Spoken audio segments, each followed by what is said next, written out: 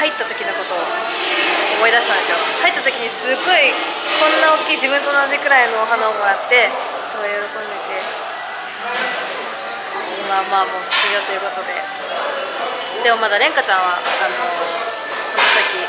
もうなんか挑戦してみたいこともあるって言っていたのでその挑戦してみたいことをどんどんやっていってもらって足もなんか気にならないくらいにもう元気になってもらえたらなと思います。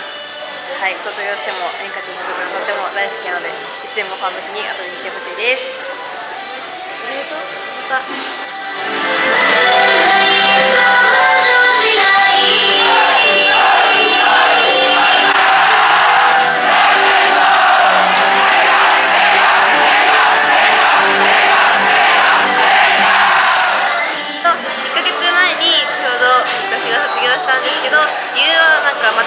う感じでれんかちゃんは足の病気ということなんですけど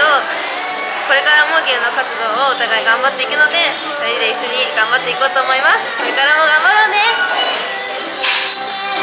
ね。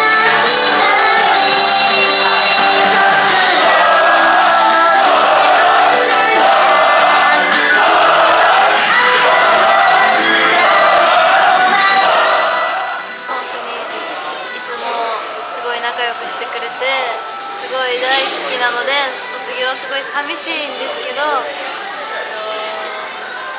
これからも時間ができた時はパーブスに遊びに来てほしいし私れんかちゃんのハグした時のあの感じがすごく好きなので また会った時もハグしたいです。違う道に進むけどこれからもれんかちゃんはれんかちゃんらしく頑張ってほしいです。大好き。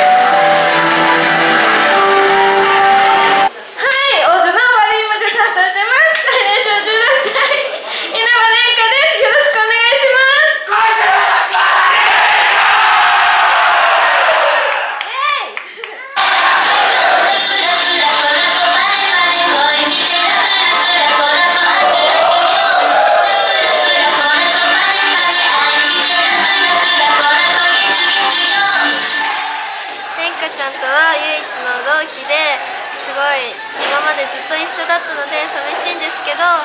れんかちゃんは足の病気だから寂しいんですけど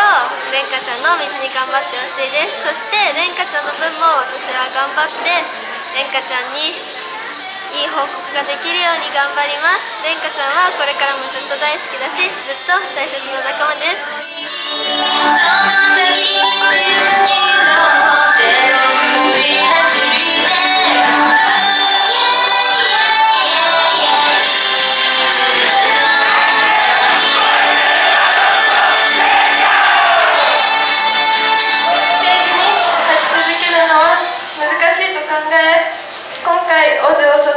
そしてライブアイドルの引退を決断しました。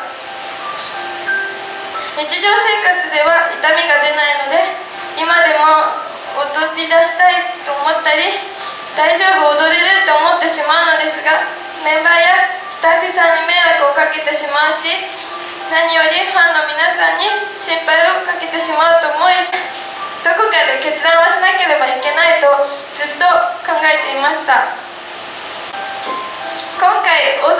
業ということで悔しかったり寂しかったり悲しかったりでもそれ以上にオズとして活動できたことが嬉しかったり楽しかったり幸せだったり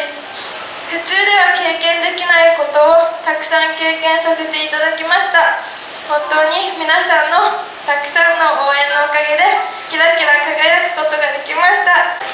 最後になりますが殿下はとてもとてもとっても幸せでした。きっとこの幸せは100歳頃になっても忘れることはないでしょう。そして今日という日は多分殿下が宇宙一紫色で幸せ者だと思います。私はチームガールズアリス10番を目指し毎日頑張ってきました。でも私は今胸を張って言えます。私は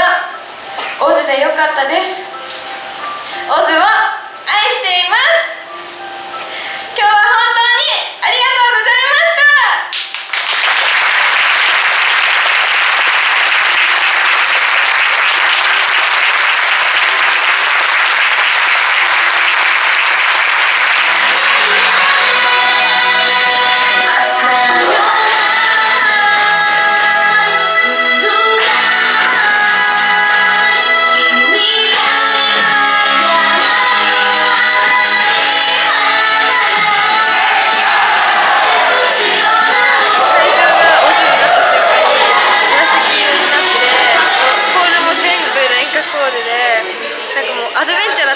ね最初の曲が。だけどもう本当にえー、どうしようと思ってもう涙がなんか自然に出てきてみんな天下の方向いてくださってたしコールしてくださって紫をすごい光らせてくれてとっても幸せな時ひとときでした。覚えてます。あの小学校1年生から4年生ぐらいまでずっと装具っていう足につける機械とか松葉杖とか車椅子の生活だったのでその4年間はすごい辛くてすごい心に残ってるって言います。まあでもオズに入る前が個人的にはすごい辛くてダンスが苦手だったのですごい苦戦してすごい研究生期間が長くてでもオズになりたいっていう意思だけで頑張ってこれました。けどファーストワンマンライブはやっぱりオズとしてもレンカとしてもすごい思い出に残ってて初めてのワンマンライブだったのでしかもそれがオリジナル曲がいただけるかいただけないかっていうワンマンライブでみんなですごい一生懸命話し合って一つのものにを完成させたっていうことですごい思い出に残ってます。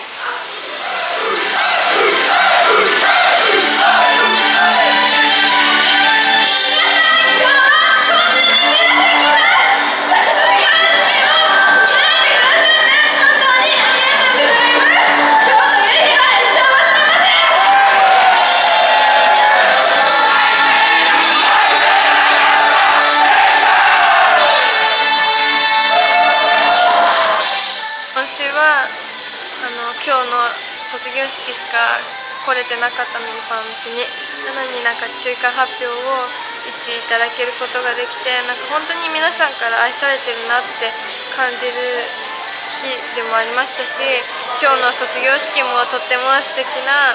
卒業式でなんだろうな今まで本当に今までのことをすごい思い出してファンの皆さんにあの愛されていたしなんだろうなもう感謝してもしきれないくらいのありがとうって言葉を伝えたいです。本当に今までありがとうございました。